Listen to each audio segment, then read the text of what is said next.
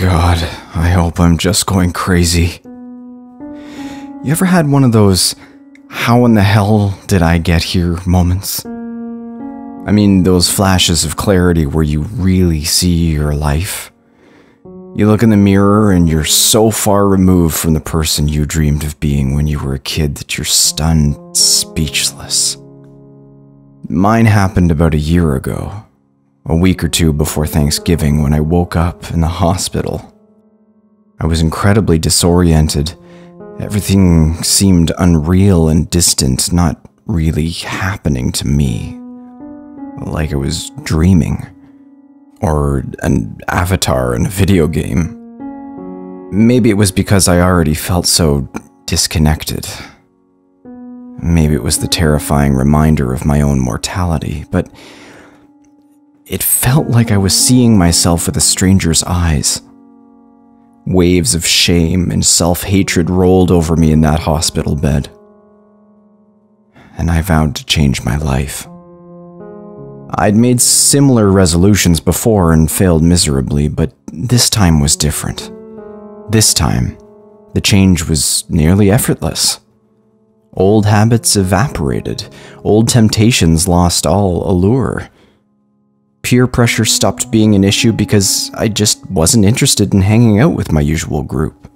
When I tried going out with them sober, they bored me to tears. Meanwhile, other relationships in my life were improving.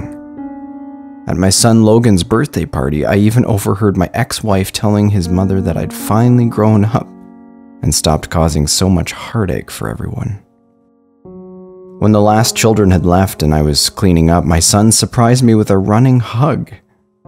He wrapped his arms around me and squeezed me harder than he ever had in his life. Will you stay? He whispered. I brushed back his hair with my hand. Of course. I'll stay as long as you want. You could even spend the night at my place tonight if your mother says it's okay.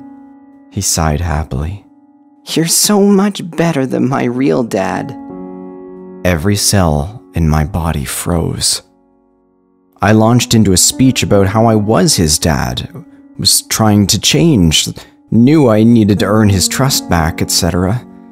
Okay, he said lightly obviously eager to return to his pile of presents.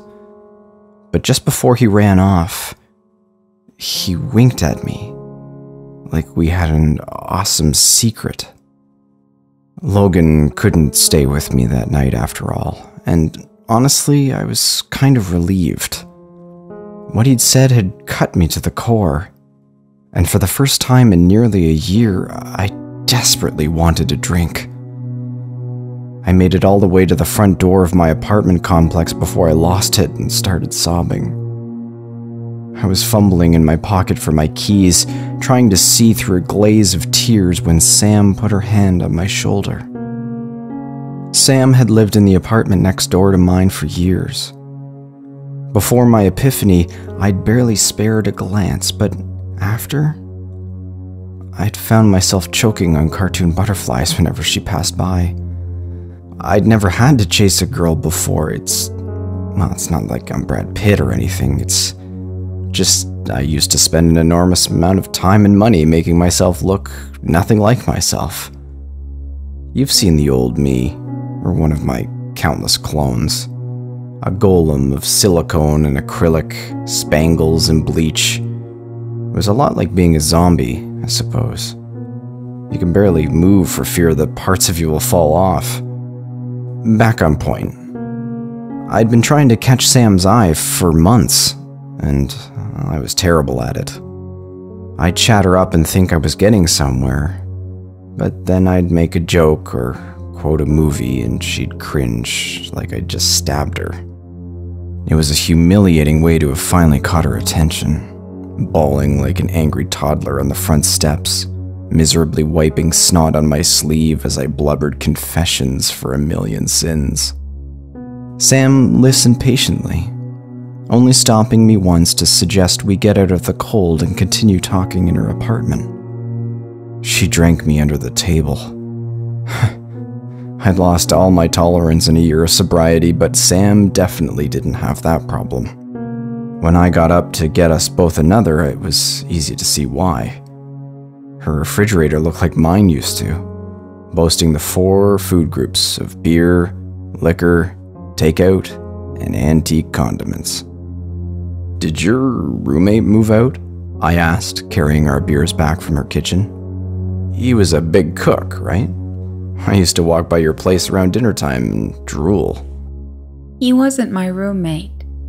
She said quietly. He was my husband. My face fell, and the last year flashed by in sickening instant replay.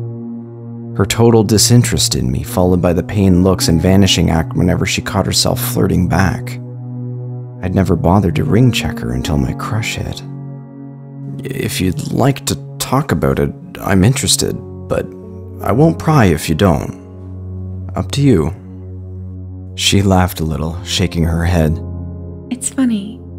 Stanley was usually such a good judge of character, but he was so wrong about you. Sucks that he never got to know you. I think he would have really liked you. She changed the subject, and I excused myself soon after. The next day, curiosity led me to Google her husband. As I read through the results, my eyes widened. Stanley had died the night I'd passed out, and it appeared he might have accidentally saved my life. I spoke with a neighbor and confirmed that my guess was right. The EMTs who responded to Sam's 911 call had been the ones who'd found me. Since they'd called for just one patient and only had one ambulance, they'd put me on a board and hung it on hooks from the ambulance ceiling. I didn't sleep a wink the night that I found that out. My stupid drunk ass had hung there a few feet above the worst moments of Sam's life and the last ones of Stanley's. The ultimate third wheel, intruding on something incredibly private and intimate. I laid in my bed, staring at the ceiling, imagining what it must have been like for Stanley, staring up at a man he'd thought was a total waste, knowing that I'd wake up, and he never would. I blushed against my pillow, thinking of how I'd hit on her so soon after his death. I couldn't believe she'd ended up comforting me. I swore to never flirt with Sam again, and I kept that promise, even as we became friendlier and wound up with a weekly TV and Chinese food appointment. I didn't mean to get her a Christmas present. I considered it, but written it off as over the line. Then, when I went thrifting, I saw this pocket knife. It wasn't anything flashy, but something about it just said Sam to me. When I picked it up and examined it, the owner came up behind me. You got nice taste, honey. She said, They don't make 'em like that anymore.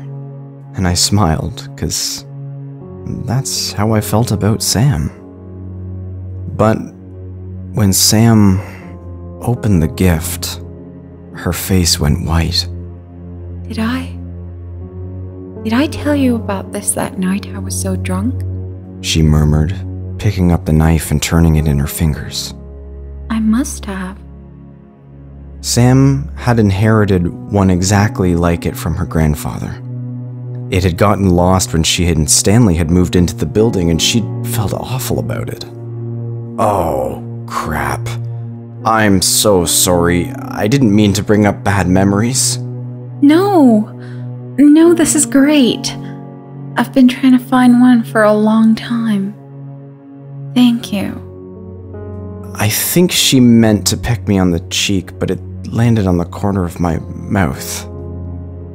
And uh, the next thing I knew, she was kissing me for real. It was amazing for about 10 seconds. And then she sprang off the couch, stammering that she was sorry that she'd been overcome. And then it just poured out of her. She told me how much I reminded her of Stanley, how being with me was so much like being with him that it broke her heart. You say things he said. You quote movies he used to quote. Jesus, you wear some of the same clothes. Who puts this green shit on Triscuits? Nobody I've ever met. Except you. And him.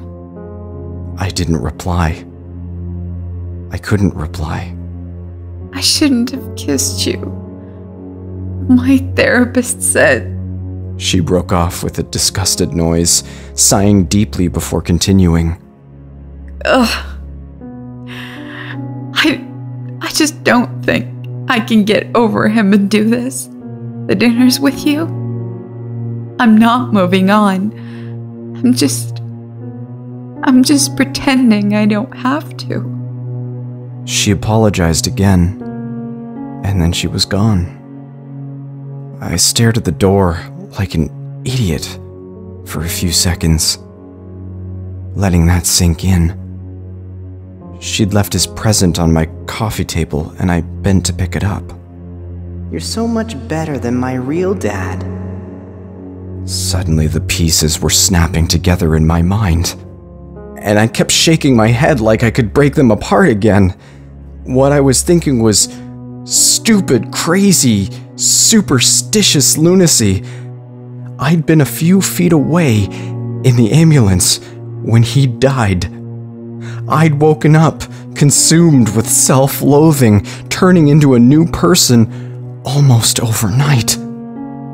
One with different hobbies, different opinions, different tastes. Even my own son didn't believe I was me. So many things falling into place.